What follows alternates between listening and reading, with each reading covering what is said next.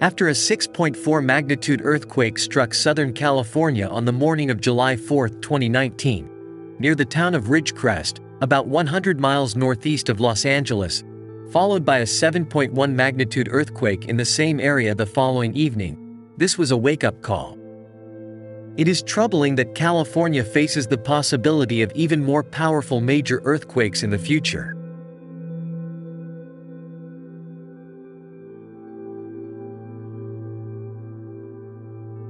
According to the U.S. Geological Survey, the large earthquake that occurred in early July occurred on a complex series of faults located near Ridgecrest.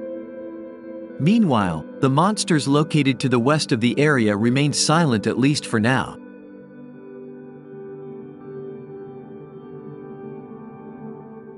The massive San Andreas Fault Zone, a boundary between the Pacific and North American tectonic plates that stretches more than 800 miles from Cape Mendocino, 200 miles north of San Francisco, and extends south to the Salton Sea, a shallow salt lake about 120 miles to the east San Diego.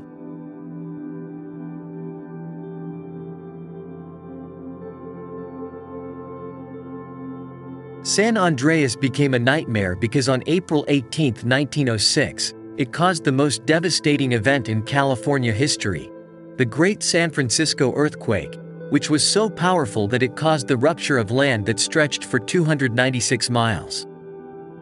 Although the magnitude is uncertain, scientists estimate the magnitude may be as high as 8.3.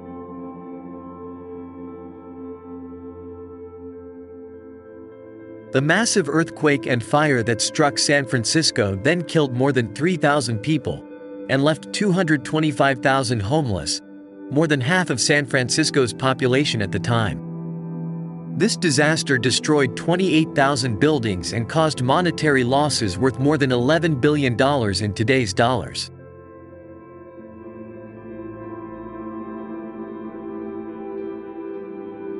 But despite the potential for enormous damage, the northern part of San Andreas has remained largely calm since then, and the southern part has not experienced a major earthquake since the 7.9 magnitude earthquake at Fort Tejon on January 9, 1857. This has raised serious concerns widespread that California is expected to experience a devastating earthquake somewhere along the San Andreas. When and where, it's anyone's guess.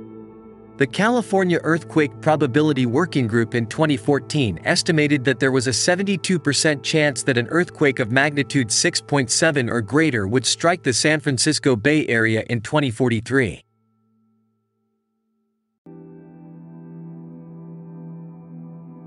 But there is only a 22% chance of an earthquake of that magnitude or greater in Northern California. San Andreas Along the southern part of the San Andreas, closer to Los Angeles, researchers estimate a 19% chance of an earthquake of magnitude 6.7 or greater.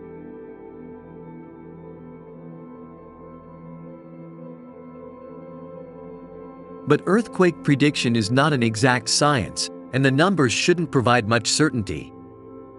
There are many damaging earthquakes that are likely to occur on the San Andreas fault system. John Vidale, Dean Professor of Earth Sciences at the University of Southern California and former head of the Southern California Earthquake Center. While major catastrophes are inevitable on a timescale of centuries, many other scenarios would result in major damage at magnitudes as low as M6 to M7,